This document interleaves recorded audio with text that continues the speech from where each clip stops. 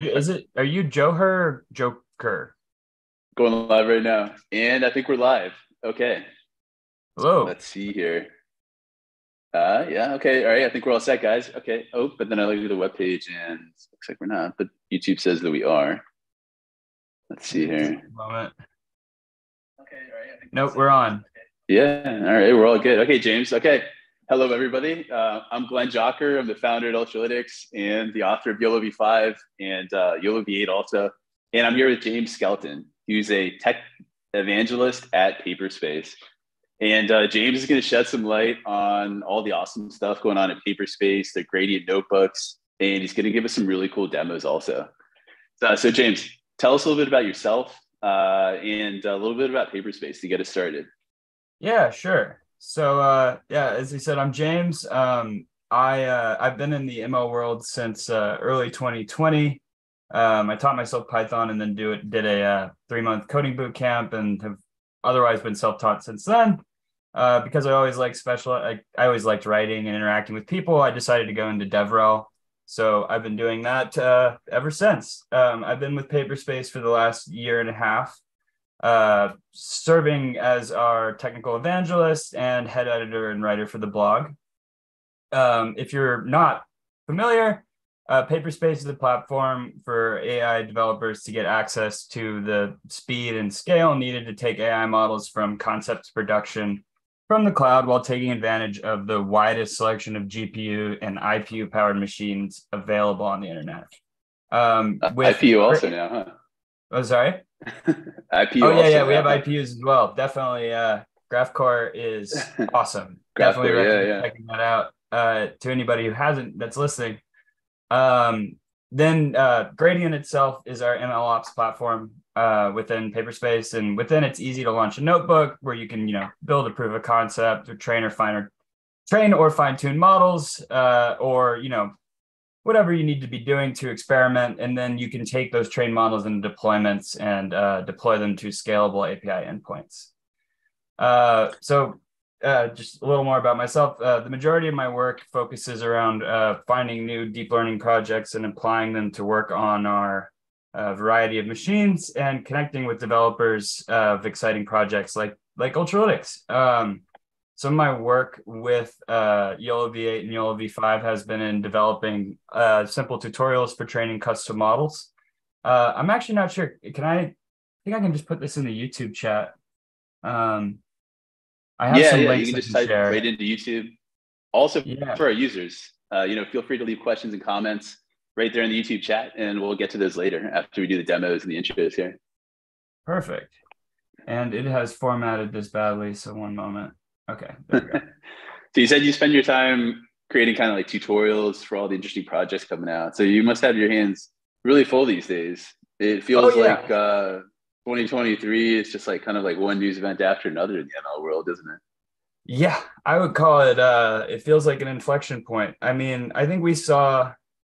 You know, it's interesting. Um, YOLO is actually what I consider to be the first, you know, publicly viable uh, deep learning model. It was the first one that you know just anybody could toy around with. It's it's even easier now with YOLO V8. Y'all have y'all have made it amazingly easy to use. Uh, but uh, even YOLO V5, um, compared to a lot of deep learning projects, was really straightforward.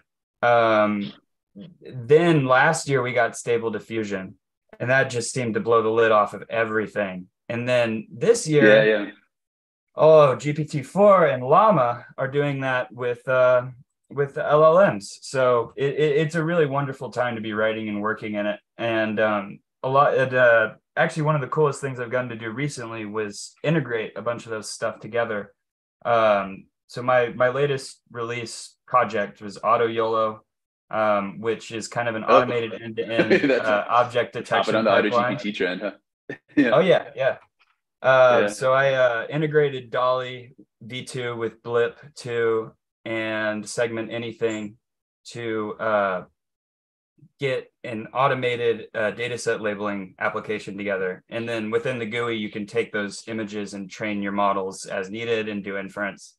Um, and I'll show that off later if we have some time.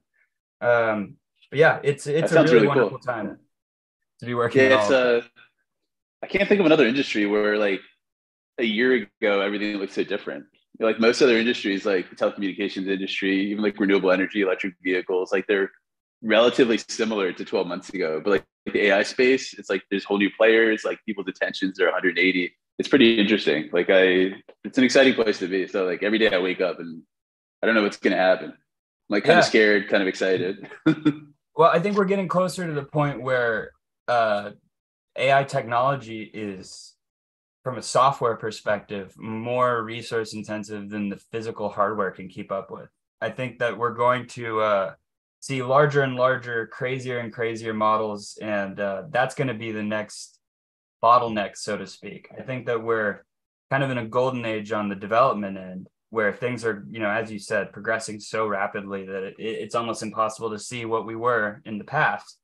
Um, like I, uh, I, I mentioned stable diffusion earlier. I, I remember when you know there was some simpler models like uh, DALL-E Mini before that and stuff like that so much weaker in comparison. It, it really is a meteoric uh, development once somebody figures out the right way to do it. Yeah, it's, it's really easy to say double model size and it performs a little better, but it's not easy to say double your hardware.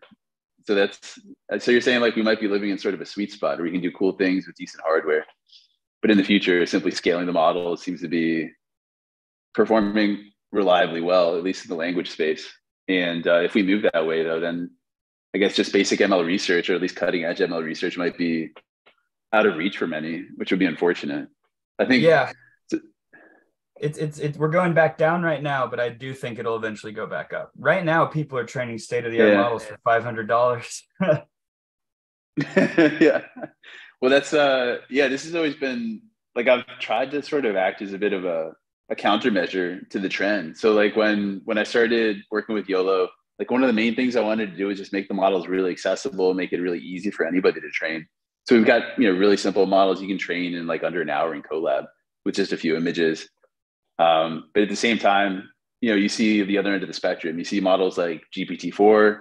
Nobody even knows how big it is because it's a mm-hmm. secret, and uh, God knows how long it took to train that thing and how many millions of dollars. So so it seems like I don't know to to kind of like make headlines in at least in the language space these days. You have to be like really well financed, have a lot of backing, a lot of cloud.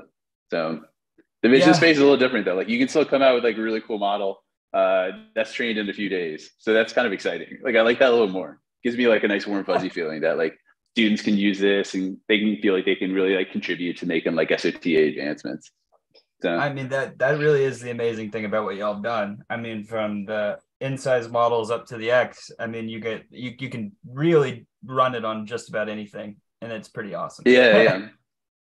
I yeah, know actually, when I so when I started, sorry, let's say like maybe three years ago, four years ago, I, uh, when I first created the the app that's now the Ultralytics app, it like it barely ran. Like on, on the iPhone, it like the thing heated up, it killed the battery in like 30 minutes. The frame rate was terrible, and I was just like, ah, like this isn't gonna work very well. And um, every year since then, like you know, Tim Cook has come out there, come out with like a new version, and and it just keeps getting faster. So there there are like really impressive hardware advancements. Um, I don't know. There, uh, so like it, in some sense, like it is keeping pace. Like let's see, like the tops on Apple E, which is like my preferred mobile device. I think it, it's gone from like less than one to almost twenty trillion operations per second, like in the last like four years. So it's hmm. pretty impressive. But in the last couple years, it has plateaued. I think it's gone from like 15 to 17 or something like that in the last two years. So, so yeah, can uh, can definitely see that. Uh, I guess the size of models and people's ambitions is making bigger, much much easier to change than than scaling the hardware. But okay, let's uh, yeah, that's why you need a good back, cloud. Let's get back to the topic at hand. Sorry. yeah, I guess Paperspace is actually going to grow with the times have to stack up a lot of IPUs there. um, by the way, let's see. I'm I'm wearing a Havana T-shirt. What's what are the Havana chips called? They're not called IPUs. They're called. Is there like some uh, special terminology for this? I'm not. I'm not actually familiar with them to be honest. Uh, oh, they're yeah. I've, I've never used them. I just I got I got a free T-shirt at a trade show, but they are a startup that came out of Tel Aviv. They started working on chips, and Intel snatched them up. Uh, mm. So now they've got these kind of like Gaudi processors uh, that do training and inference. So they're a little little bit like GraphCore. They're like GraphCore that's living in a big company, Intel. Interesting. Yeah, no, I will uh I'll pass that on. Kind of kind of like Amazon's chips too. Amazon's also getting the the chip game with their Trainium and Inferentium chips. So yeah, Apple too. I mean, it's yeah, everybody's well, everything in house. Well, Apple's Apple's getting in the game. It's more more direct to the end user. Like they want your their chip to be like in your hands. Whereas yeah, like Amazon true. is more like you know rent it from us in the cloud, which is sort of well, like Google's doing with their TPUs.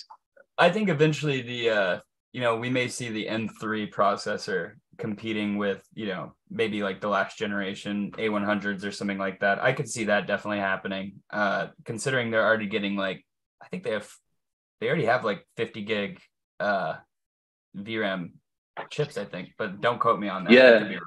No, uh, core core core ML models, uh YOLO V8 core ML models, for example, they run insanely fast. I have an M2 MacBook and the speed is just incredible. Obviously, you can't train in a core ML format, but once your model is trained in PyTorch, you can export it to core ML with a single line of code. And if you want to do something weird, like set up a server on your Mac and, and run core ML models, you could do that. And they're just they're super fast. It's almost they're about as fast as you know the fastest NVIDIA cards.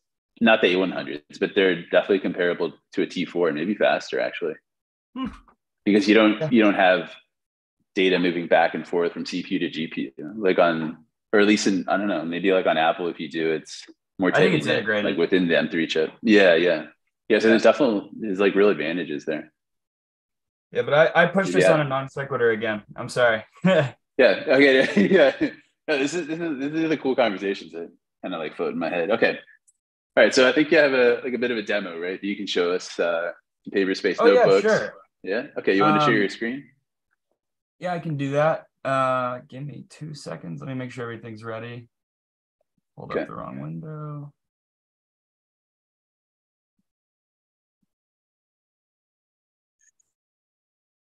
Okay.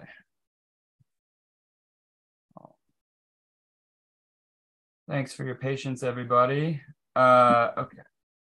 So here I've got um, the uh, Gradient Notebook Ultralytics uh, slash Ultralytics uh, uh, repo. Uh, and to get to this, it's very easy. Um, all you need to do is go to the Ultralytics GitHub and click on this Run on Gradient button. And once you're in there, right. it will take you into uh, this just shows the README, but you can get to all the different files that are contained within the repo. Um, and if you don't already have an account, um, you can sign up for one to get access to our free GPUs. Uh, I, I, recommend this if you wanted to walk through with the tutorial. It will ask you for a credit card, but we, we won't ever charge you unless you are using a paid GPU or go over your storage limits. I would be surprised if you went over your storage limit on a YOLO V8 demo. Um, it's uh, it's a bit lighter than you know, some of the other stuff that's come out recently. Uh, another thing you may want to do is this will this will automatically put you in a C4 right now, so you can do uh, um, like this uh, add on. Okay, uh, so C4 is is one of the light uh, instance types, right? It's the free. Yeah, one? that's one of our light instance types. I think we actually need to fix that at some point, but uh, it, right now it's it automatically puts you in that. I've got the demo running on a free A100. Uh, if you're a growth member uh, at Paperspace, oh, wow. I think $35 a month, you can get unlimited access to our free A100s. Um, which, oh, really? Well, yeah, I didn't know that. Quick, news to me. Okay. I mean, yeah, nine hours of runtime on uh, a normal A100 would get you this. So uh, it's a it's a really wonderful deal if you ask me. Um, yeah, it does sound pretty good. I used to have I used to have a Colab subscription, but then most of the high end GPUs sort of vanished over there, and I, I let that go a few months ago. Colab um, has uh, Colab has some distinct disadvantages compared to us. Notably, you can't select your GPU there. Uh, even on your paid yeah. sheet, you're going to get allocated whatever they gave you. Uh, mm-hmm. With us, you can always pick what you want. We have the super wide variety of different GPUs, and as I said earlier, IPUs and CPUs. Um, so everything from uh, uh, Maxwell series up to Ampere, and we're getting Hopper GPUs next month. Um, oh, really? Are, oh, yeah. If you are interested in H100s, to anybody listening, definitely reach out to our sales team. Um, it'll be a little bit longer before they're available just to everyone on the platform. Um, That's exciting. Yeah, yeah, no, I'm pumped. Definitely uh train YOLO V9 with us. uh, so we've got uh we got the demo here. Uh I'm going to just walk us through the uh, tutorial notebook that uh, Glenn and his team have so graciously provided. Um, to get this to run, all you got to do really is just hit run all and it'll run everything. Um, but we can go through it iter- iteratively. Um, we actually already have uh, uh yeah. we already have a version of Ultralytics installed, but I think it updates. Um, and then yeah, I just saw that. So it looks like let's see, right after the install, it pulls up the, the stats on your system. So yeah, so you got an A100 here. That's XM4. Nice. Then uh, we got this first uh, prediction section. Um, I'd be I'd be shocked if any of you weren't as familiar with YOLO, but uh, just really quickly, uh, the object detection model will uh, look for whatever we are uh, trying to find in the image. In this case, uh, it's looking for uh, I think Coco objects. Um, so it'll find uh, people and uh, looks like a tie. Yeah, that's right. Um, yeah. And the so we've actually got let's see. So detection is where YOLO started. It's like from the very early days. when Joseph Redmon first was working on the models, they were all detection based. They still are. It's sort of bread and butter, the sweet spot of YOLO it's what you see here in the picture. But more recently, we've also expanded to different tasks, as they're called. So now we also offer segmentation models, uh, pose models, classification models, and built-in tracking too, using uh, a parameterized tracker. But right now, it's using SOTA trackers, which are ByteTrack and I think Byte ByteSort or BotSort. Yeah. Yeah, I haven't. So got, to, I for example, had as much opportunity to play with the other uh, the other tools. Um, but yeah, I, yeah, I not too many people know about them. Yeah, they're all they all come with the Ultralytics PIP package, and uh, the the way the models work is, for example, you have YOLO V8 S or N.pt. If you just put a dash seg for SEG or dash pose, then you'll get segmentation models or pose models. Yeah, right there. Yeah, so this will actually run a, a segmentation inference. It'll yeah. download the model since it doesn't exist locally and run it again let's see, that'll put it into predict three or predict. Yeah, four. so this is going to drop it into a new predict directory. So every time you run a job like a prediction or a validation, then you get a new directory created in your runs directory. Yeah, right there. So this will be in segment. Yeah. See, so it's in run segment and then predict. Yep. And then that, that'll be the result right there. Yeah. Oh, there it is. so this is the same image just with the segmentation model. And this and is a nano model. The, so it's this is yeah, this is the nano model that's like three million parameters, just three million. That's exactly what I was about to say. I mean, that's uh, yeah. pretty powerful stuff there. I mean, there's only some minor smudging, uh, and always hands. Hands are always a nightmare with anything vision. Uh, yeah, yeah, really smooth. Especially the gender. yeah, the six finger oh, hands yeah, if uh, yeah, if any of you have used Stable Diffusion, there's entire research projects dedicated to fixing hands. That's encouraging. So, uh, it's, good to know they're working on that. Yeah, yeah, yeah. Um, gotta gotta love the open source community. Um, so uh, it, after this, we get into this val section um, where we can validate a model's accuracy uh, on Coco, and uh, this will quickly download uh, the validation subset using Torch. And then um, yeah, yeah, that's right. I actually don't. I actually don't. I'm. I'm just. Are these uh, already pre-trained on Coco, and is that why they just get such good results out of the box, or? Uh... Uh, yeah, yeah. So all these models that you're downloading are pre-trained on Coco. So Coco comes in different flavors. It's got detection labels, but it's also got segmentation labels, and then also pose labels. And so we train the, the YOLO V8 models individually on the different types of labels in the data set. So let's, let's see. So what we're looking at here is just the detection model. And yeah, since it's pre-trained on Coco, that's why it's getting good results here. It's yeah. validating on a smaller version of Coco. It's called Coco 128. And this just has the first 128 images in the Coco data set. But when you just click this cell, it'll start running validation. Uh, so it's going to take the model, it's going to get predictions, and it's going to compare those against the labels and it's going to use those to compute metrics on the differences between the predictions and the labels and that's what we see here uh, we see it per category so it's broken down well not just per category but also for different metrics like precision recall then MAP 50 and MAP 50 to 95. It looks like that did an output there. The end. Yeah, it's supposed to say MAP 50 to 95. Not sure why I didn't do that. Oh well. Uh, but yeah, yeah, yeah it's uh very effective just out of the box. So uh, you can really use YOLO already just for any of these real objects. If you uh, yeah.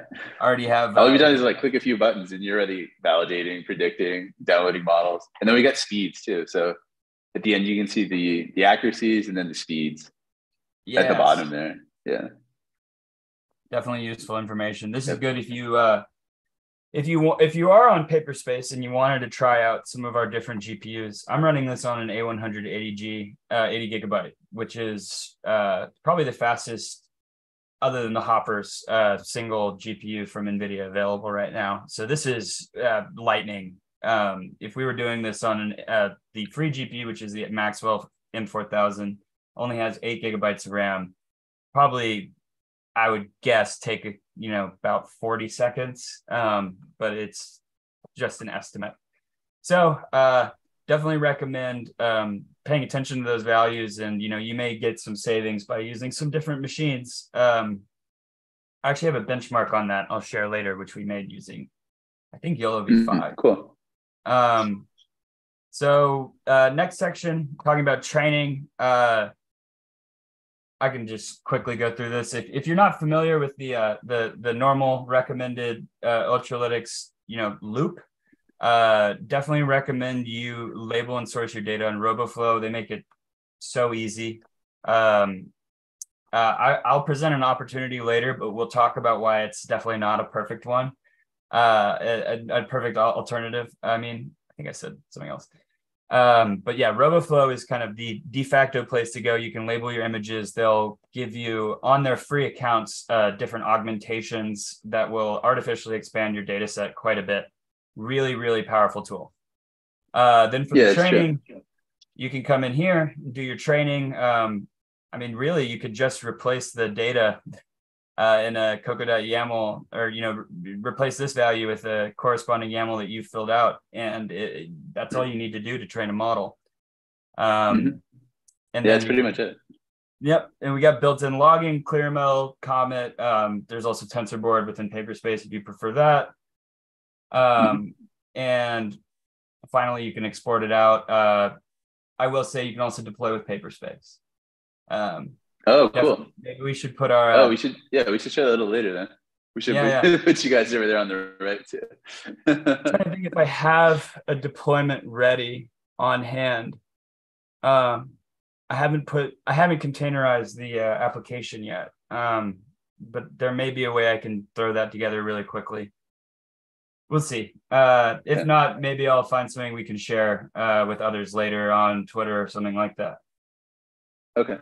Does the um, deployment work um, like the way you get to pick a GPU and uh, in an instance here? Like, can you do the same thing on the deployment side? Oh, cool. Okay. Yeah, yeah. It's uh, it's completely the same. And then, um, you know, if you have uh, an application that you want to serve, it will. Uh, you can just basically do everything that the application does within that containerized environment. And it's got hmm. multi GPU, single GPU, CPU, uh, full full gamut of options. So if you're just running wow. inference, I mean, uh, if you're just running inference on a YOLO V8N, you might just want a C7, you know, uh, that could mm-hmm. run very easily um, in a reasonable amount of time. So uh, definitely recommend checking out the deployments um, from a pricing and variety perspective. It's really nice uh, tool compared to some of the other options out there. Uh, really quick, uh, let's just run this training. It should take about, I don't know, 30 seconds, if I remember correctly. Oh, yeah, the training's really fast. it's uh oh I know. Uh, oh yeah, actually we got a I didn't so log like into you gotta wait buy installed. So if we yeah, so we can do WANDB disabled, or you can kind of like put your login key there. If you put your login key, then it'll automatically log everything you do to WANDB. This one also works. It'll uh oh, I didn't know you could do that. Oh, will that create a that'll create like a public page, like an anonymous page? Yeah, exactly. So you can oh, look cool, at it later. Cool. Okay. Okay. Oh, if you don't need to save your work. so yeah, that's over here. Yeah. Oh, cool, cool. Okay. I think I might. Okay, I thought I was going to try to log me in for a moment there. Uh, oh yeah, see, so you got a public page, you're not logged in. It just made up a project name for you, and now it's logging everything there. Clear yeah, disco. Clear disco one run. Cool. Okay. Uh, it looks like it's not loading yet. Uh, doesn't matter. It's probably because it's yeah. It's, so it's running a validation at the yeah. very end there, and then it syncs everything up to WANDB. Let's see. Let's refresh that. Yes, I think if you refresh now, you should probably see a few lines here. It can be really short because it's only three epochs, but uh, oh, I was looking at the wrong place. Oh, there we go. Yeah. So these are learning rates. There's different parameter groups. That's what PG stands for here. Normally these uh these look a little smoother, but since there's only three epochs, yeah, the last two are going up because there's a warm up period before they start going down. Can you um can you alter the warm up steps uh in the the pack? Yeah, yeah. Run? Oh, cool. Yeah, so let's see in YOLO V8, every hyperparameter and every setting is just in your configuration file. Uh, oh, and you can override any of those. So like the warm up period and epochs, uh, and also like a few warm up effects are also in there. And and you can override those in the command line, like right here, uh, or you can like just change your YAML file, and then it'll inherit those. Um, where's our YAML file in here? Oh, so okay, so let's see. The YAML file is that's a good question. Um, all right, so we've got some, we've got some commands. I think. Well, uh, the thing is, uh, it, it it knows that YAML file. I think you all already have it, so it probably just isn't in here. Yeah, yeah. The best best way to find this stuff is to go to the docs. So we've got really good docs now. If you go to docs.ultralytics.com, and then we've got a config section, and it explains the YAML file and the arguments and all that. Yeah. Okay. Definitely recommend uh, checking that out. I have uh, I have one we can look at in a sec. Actually, whatever. I'm just pull it up. Mm-hmm. Uh, this is what I just made for my demo. Um, it's missing, you know, 80% of the fields. it's, it's super have. simple. Yeah. Um, yeah. This is just the automatically populated YAML, but you know, you you could put in the names of your categories, uh, the number of categories, the paths. Um, like you said, there's a lot more configuration information. Um, definitely yeah, recommend the test. The, the test one's optional, so if you don't have test data, you can just omit that part. Yeah. You just leave it blank. Ooh, good to know. Uh, all right, so we've got these here. Ooh. And you can also access them. Sorry? I know we get to the, the, the, fun part, which is the export section. Oh, yeah. You can export in all these different formats. Um, I think we were talking earlier about using CoreML. Um, that's one example. Um, Paddle Paddle is pretty popular. I've never used this it outside is... of Torch. I don't see the reason to, but uh, I can understand why some might. it's uh, I, well, there's some interesting things coming out of Paddle, but it's mostly coming from Paddle, not into Paddle.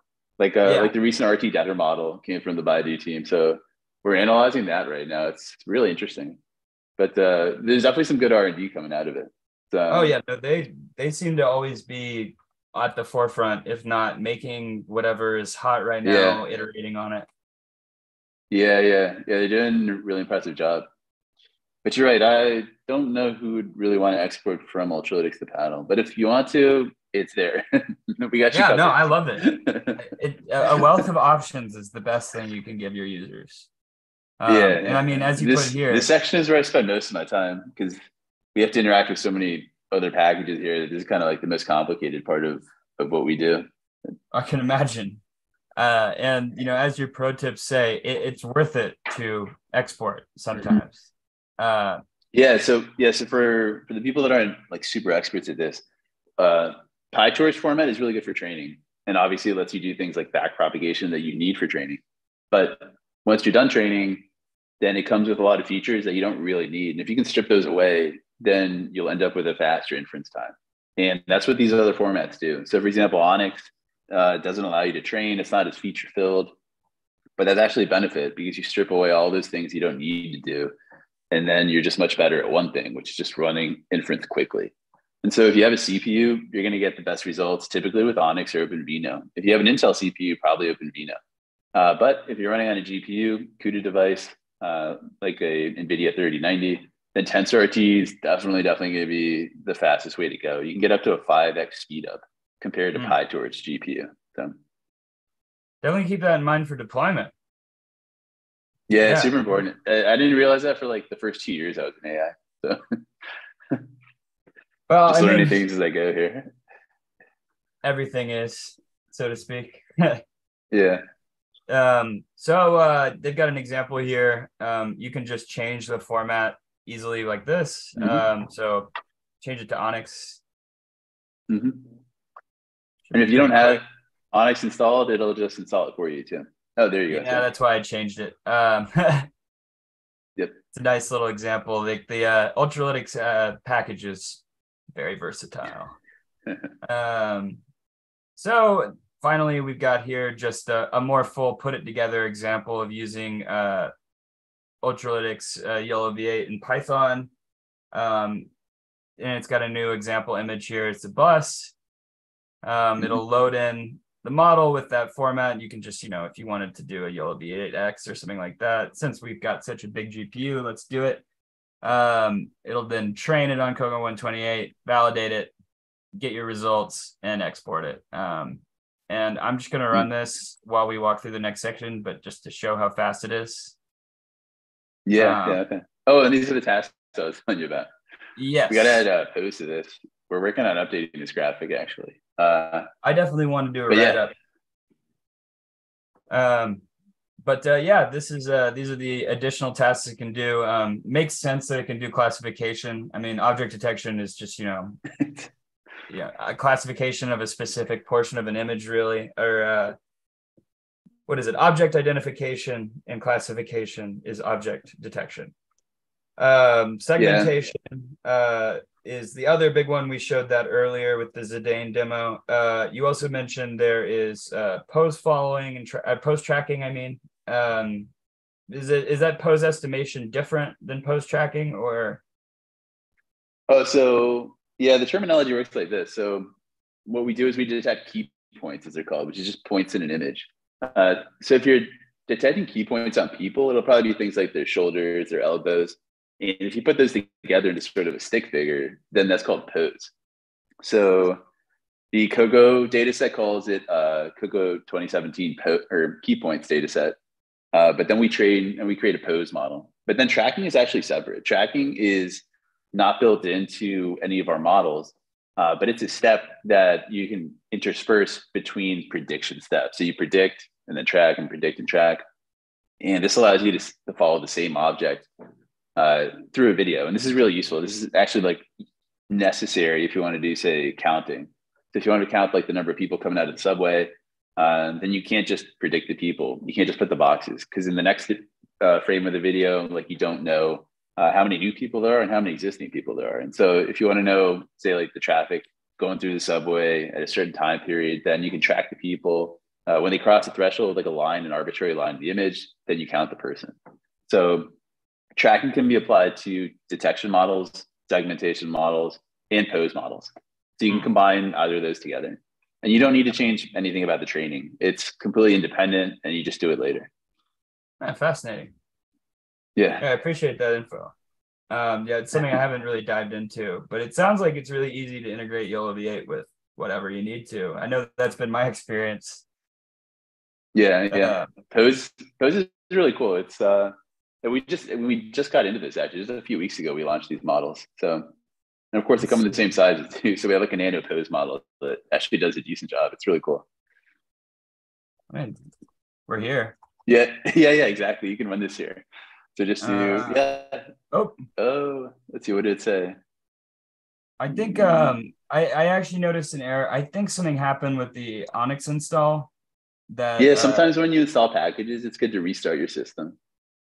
Yeah. So it could be associated with that. Uh, yeah, let's try to restart and see what happens. Oh, restart the whole machine? Oh no, no, just what you did. I think restart kernel. Okay. Yeah. Let's see. As say, it, take, it takes a moment to spin back up if that's the case. Yeah. All right. Um, All right. Same thing, huh? So it looks like uh, it changed something from this underscore PB2. Hmm. Don't oh. Okay. Yeah. Sometimes there's dependency protocol. conflicts. Yeah. But, yeah. Uh, so uh, if you all are doing this demo, don't export an ONNX model uh, yet. that is, uh, we need to fix that bug. Um, but that's on our end, not theirs. So go figure. I guess every, every uh, environment's different, so you never know what's going to happen. Yeah, ain't that the truth? Yeah. Ain't that the truth? Yeah. So uh, we'll just use the already done examples uh, for these next ones. But uh, so here we're just quickly training a detection model, um, and it outputs the full results of a. Uh, yeah, these are the Python outputs from the results. Yeah. yeah. So you actually get uh, you get a lot of information. You get the boxes, the image, the size, the speeds, and all that in the classes. Yeah, and it's um it's a results object, uh, but I think it's a yeah. You could say it's in dictionary JSON format, so it's pretty easy to parse. Yeah, it's an um, object because uh, it allows us to do cool things. Like it's got methods. Like you can, for example, uh, like turn the boxes from XY with height to like XY, XY, things like that. Mm. Uh, or you can just access the values here, like you're seeing. Yeah, and uh, dot plot obviously is uh, very useful. The dot plot, for example, yeah, that's yeah, yeah. Cool, very yeah. quickly uh, seeing what you're working yeah. with here. Um, mm-hmm. This isn't saved, otherwise I would pull it up. Um, then next we got segmentation. We we saw that example of segmentation uh, earlier. So you can just uh, this is just training on Coco 128, uh, and then you know working on Coco 128, kind of a proof of concept. But uh, if we had this, we'd be able to see the bus separated out. Um, actually, all these yeah, images yeah. are on uh, on y'all's uh, um, repo, I think, or if not the repo. Yeah, then... these are these are in the assets. There's only two images in the assets, just Zane and bus.jpg. Yeah. Well, I meant the uh, segmented ones. I, i am sure I've seen them somewhere else before. Oh no, you're right. Yeah, yeah. See if you oh. if you expand the section, if you expand like segmentation. No, then where are these? Um, I know I've seen them somewhere. That's a good. Well, yeah. If we don't have them, we should put them in here because I know what you're talking about. I've seen these before. Yeah, uh, everything's well, a work in progress. So it looks like we got to update the docs a little bit with some of these examples. But you're right. We've got we've got a graphic here that shows the concept, but not the actual results. So I think we need to show the actual results. I think that'll help a well, lot. we would be very easy. It would be very easy to see the actual results if if we didn't have that little problem. Uh, so yeah, yeah. Um, I can honestly just spin this machine. I think if you just restart the system, then it should yeah. definitely work. Yeah. By the way, so I noticed we've been talking a while, so time just kind of flew by here. Um, let's see. So we should probably uh, like I think one of the coolest things you mentioned maybe is on the deployment. Oh, and here we're looking at machines too. Oh yeah, this okay, is, so uh, these are these are all the different machines that you can select, huh? Yeah, full uh full gamut. Um, so what does free mean exactly? Are not available. Like where's right the uh? Now. What? Okay. So we yeah we have we're subject to uh you know the f- physical limitation. Uh you know we only have so mm-hmm. many machines so uh if a lot of people are using a certain type they won't be uh they'll be out of capacity on here. So the free gpu is the one that i'd i'd recommended to everybody to check out. That's an m4000 uh no cost. If you pay eight dollars a month you get access to the next tier of free gpus which are these uh p p5000 to a4000 and then the growth tier gets you up to that uh 30 uh sorry 80 gigabyte a100 um okay so for 35 a month you get access to all the ones you're showing there without any limits? You don't get shut uh, down after a few hours or? They have if they have this free in front of it yeah. Mm-hmm. so like right now i could spin up a free a6000 where uh the free a one a a180 gigabyte was uh out of capacity. Oh but, I see. Um, if you if you show up early you can get one before everybody else takes one yeah, pretty much. Okay. Um, pretty much. Uh, and these, uh, yeah, these free free GPUs. If you are on a paid account, you will never have to pay to use them. So you know, if you're using, let's say, uh, a reasonable three hours of GPU time a day over a month um, on an A6000. I can't remember the exact cost right now. It's just click. Oh, 189. So, you know, that's uh, hmm. 90 times 189 uh significantly cheaper to do it on the uh, growth plan so so just you know okay. just a heads up Uh, it's like thirty dollars versus uh ninety eight or something like that. I think it would be or one point eight nine. No, it would be double that. Uh, okay. hundred eighty something. Yeah. So quick math. Nvidia's really coming out with uh, a lot of different devices these days. I think I'm I'm gonna need uh like a chart on my wall just to make sense of it all. I, These uh, like I know the highest end devices and the lowest ones, but everything in between. Like for example, like an M4000 versus an A4000. What does M? What does the M designator mean, really? M is the uh, so those are the microarchitectures. These are denoted by these uh, A's and V's and P's. Um, so mm-hmm. one of the earliest. So P doesn't stand for Pascal. Uh, yes, exactly. One of the earliest. Oh, Maxwell, so this is an older one. Okay. Maxwell, then Pascal, then um, Oh, so the M is before Pascal. Okay. Uh, yeah, yeah. Uh, Maxwell then Pascal, oh, and I think uh, they had the first Voltas, which um, the naming is a little strange on here. Those, you know, you could also put in the RTXs. Yeah, we're starting to kind of merge the consumer names with the enterprise names. The RTX yeah. 5000, right? Yeah. Yeah, it's hard to differentiate. This is like them. the prosumer card. Uh, yeah, the Quadro cards. Yeah. Oh, the Quadro cards. Yeah. Um, I need, I need like an org chart for the NVIDIA GPUs. That's that's what I need. I think we need to. yes. Uh, yeah. If you want to learn about these, I think we um trying to remember. Do you guys have a guide? Yes. dot com slash uh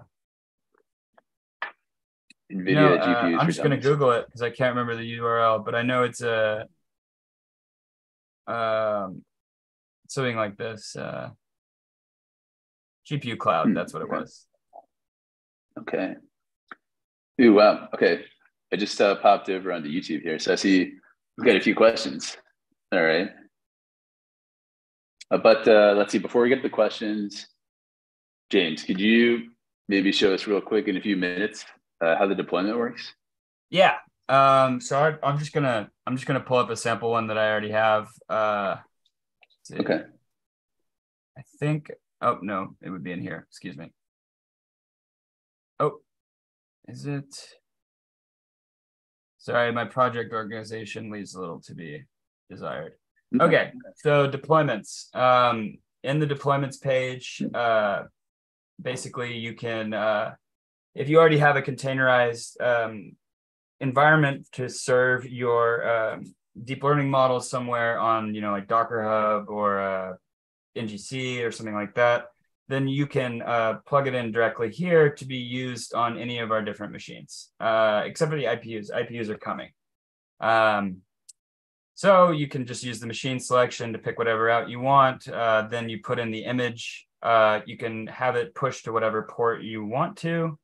Um, and then you can also override the default command. So, you know, if you uh, have an application you're running, let's say you're doing it with Gradio, uh, one of the big things with Gradio is you need to tell it to use this uh, 0.0.0.0 uh, server host name.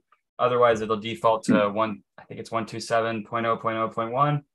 Um, just a, a thing. You can also add environment variables if you needed to, uh, you know, uh, directly export some sort of uh, named variable. Uh, and we also have integration with our model storage. So if you've uh, trained a model and put it onto uh, our platform, you can access it using this opt slash model ID uh, location.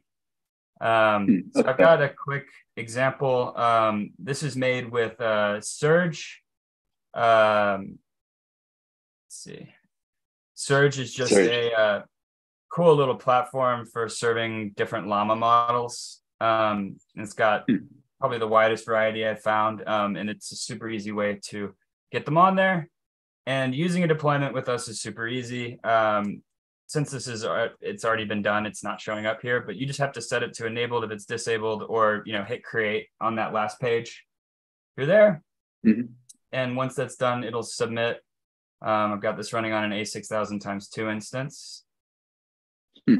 Uh, there's options to put in health checks um, as well as um, scaling. Uh, I didn't put any of that in there just because this was a simple demo. I, I I, I didn't know we were going to be jumping into this. Um, but if you if you yeah, I didn't either actually.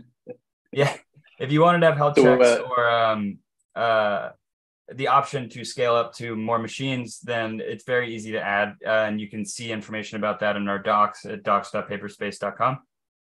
Hmm. Um, okay. Once your deployment is ready, you can, you know, also see in the logs what's going on over here. Okay, so you get this endpoint. And does the endpoint stay alive until you shut it down? Or uh... exactly. So it's running. Okay. Uh, this one's running using Uvicorn at that endpoint, and then uh, our application will uh, direct that to the endpoint here. Hmm. So here we've got this uh, little GUI. Download all of our different models. Um, trying to see if there's one that's really small. Uh, this will be the fastest. How how so I'm not a language expert. How do these seven billion parameters models work? Like, do they actually um, reply? sorry, I cut you off. Yeah. So then, do do they create kind of like useful feedback, or is it really elementary? Uh, I'd say a lot of the seven B ones are still pretty basic in this current uh mm-hmm. current standpoint, but uh, I I think the um instruction tune ones do a little bit better. So Alpaca, the one we're looking at right now, uh, is I think they made fifty thousand uh, instruction uh, response, uh, you know, question answer data set uh, using GPT four, and then fine tuned the Llama seven B on this. Uh, for those of y'all that don't know, Llama is an open source or semi open source, I guess research only open source model released by Meta um, right. It's based on the GPT architecture. Uh, the 7B, 7 billion parameter is the smallest one, and it was not in any way fine tuned to uh, to work with human interaction. It, it, it, gave some really ugly outputs. So a lot of people have been working on fine tuning LoRA uh, uh, models or delta weights that you can append on top. Um, that will basically make Llama work better. So uh, this alpaca one uh, was one of the first ones to really get any hype. Hmm. Uh, it's a little slow right now. Yeah, uh, reminds me of when I went to Peru. Always wanted to go there. Okay. Oh, you know what? Should I just? What's going on here? Well, it seems to be uh, not wanting to start a new chat, but uh, that's uh, that's that's okay. on Serge, not on us. But uh, y'all get an idea of what's going on. Ah, yeah, the model yeah. can't be found. Looks like it didn't successfully download the model. I'm not sure what's going on there because it's worked in the past. But uh, yeah, that's yeah, I uh, the idea. It's a pretty useful demo here for the deployment side. Yeah. Um, if if anybody wants to uh, um, wants to get an idea of a good demo for deployments. I've got a uh, stable diffusion web UI deployment, which I rather like. Ooh, you know, you can do, you can just paste that in the chat, I think, and then people yeah, yeah. There. I threw that in the YouTube okay. chat, um, and that's got a full breakdown on how I made it, how I uh, how the deployment works, um, everything you need to know really about uh, using deployments. But if you want, you can also just copy and paste uh, to get right into it. Uh, I will hmm. say that this this version of the deployment, it's not. I've updated it since six months ago, but it is not fully up to date. So I don't know if ControlNet is fully integrated. You'd have to you'd have to go in and do that for those of you that care. Um, okay. So yeah. Cool, cool. Well, hey, thanks for the demo, James, and uh, also like the notebook rundown. And let's take a look at the questions over here. Let's see what we've got. Um, okay, let me let me start from the top. Let's see. I hope some of these questions are for James. Let's see. Uh, first one looks like it's for me. How to train instance segmentation models with Ultralytics Hub. Ooh, okay, this is a good question. Uh, wow. Okay, let me explain what's up here. Uh, so the Hub team is working on integrating other tasks. Right now, we only have detection, but the very first step that we've taken is we've started creating the infrastructure on the back end uh, to differentiate different data sets. So now when you go into Hub, you'll see that a data set will be labeled as an object detection data set. Uh, and we're creating the functions and uh, the visualization tools to start doing the other tasks, which are going to be segmentation, pose, and classification. Uh, that should be coming pretty soon here. Um, I can't give a date though. Every time I give a date, uh, people always stick me to it. So I'd say pretty soon, and I'll let them know that uh, we got this comment and uh, there's interest in that. So let's see. Second question. Hello, I have a question. Have you seen Mojo? You think YOLO can work with this? No, I haven't seen Mojo. James, do you know what that is? Uh, no, I haven't. Okay, well, that's zero for two. All right, sorry, buddy. Uh, okay, let's see here. I, and then Abariu AI. Let's see. Says YOLO is the best thing I've learned to use in the last time. Well, thank you. Uh, and then RD Mania says, "What is YOLO V5 6?" Okay, so you could be referring to two different things. YOLO V5 comes in different releases. So there's uh, release one, two, three, four, five, and so on. And the most recent one is called release, uh, I think 7.1. So there is a release six, so you could be referring to that. But there's also a type of model called a P6 model. Uh, P6 is a larger model that operates on larger images. It's trained at 1280 image size versus the default model, which are P5 models, as they're called. Uh, the five just means that the original image size has been divided in half five times. Uh, so you're at uh, stride 32 at that point, which means that every every original group of 32 pixels at the input is turned into one pixel. The P6 models go down to stride 64. So that's probably what YOLO v5-6 means here. And there's pre-trained models available for that. If you have large images um, with large objects in them, then the P6 models will perform better. If you have large images with small objects, then the P5 models are probably the best you're going to do. Uh, but if you want to get fancy, there's also P2 versions, which uh, have outputs at stride 4 to detect very small objects. Hmm.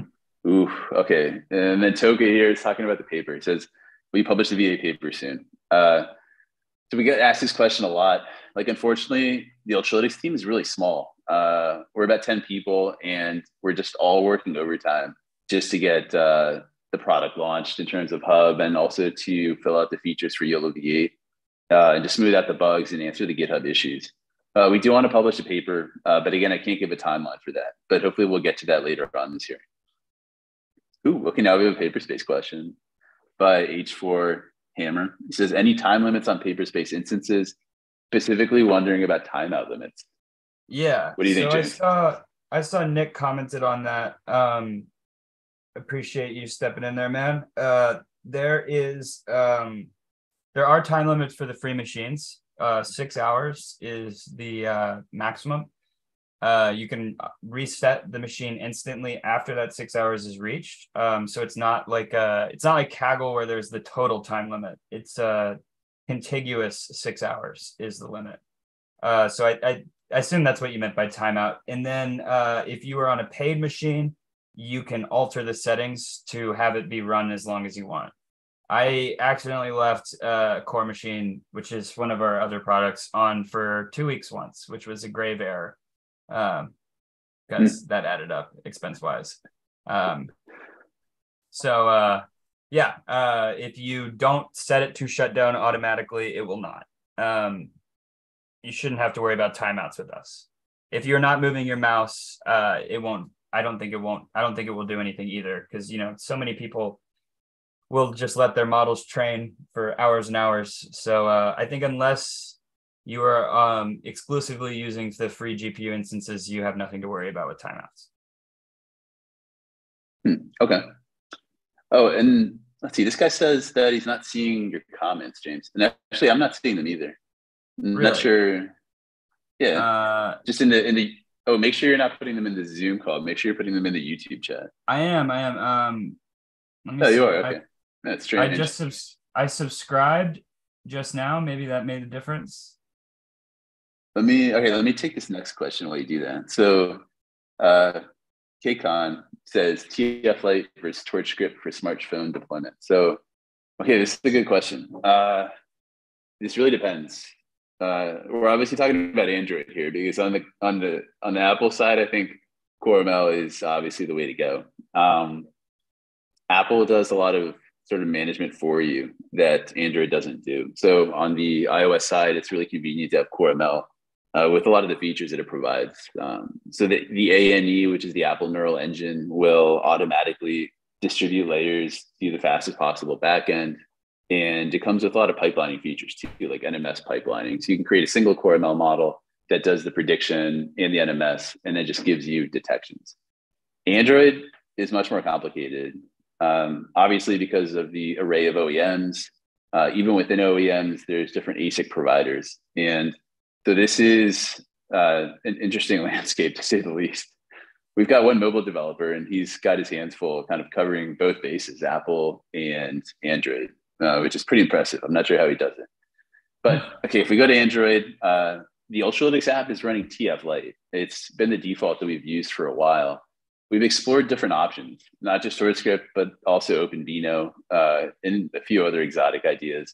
Uh, but the Ultralytics app right now, it runs TF Lite models that are exported at FP16, and we have to create our own NMS. Uh, so there's code that's built in uh, that we've written that handles NMS uh, and then outputs detections that way.